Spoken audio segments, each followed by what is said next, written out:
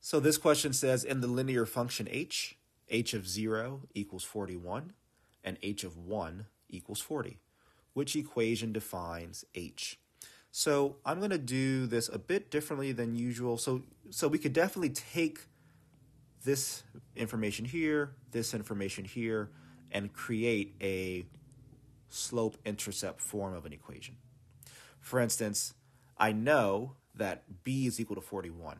How do I know that? Well, because the question tells me here, where I just erase the circle, that basically this means that when x equals 0, y equals 41. That's basically what that means. I'm replacing x with 0, and h of x equals 41. h of x is the same as y, always. h of x, f of x, g of x, doesn't matter. Same as y.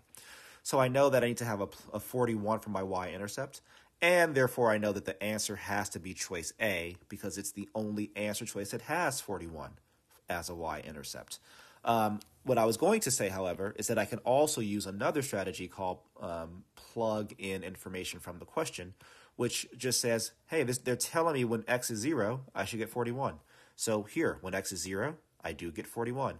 Here, when x is 0, I don't get 41. Here, when x is 0, I also don't get 41. And here, when x is 0, doesn't matter, I also don't get 41. So that's another way or another path forward in, of sorts to say that A is the correct answer.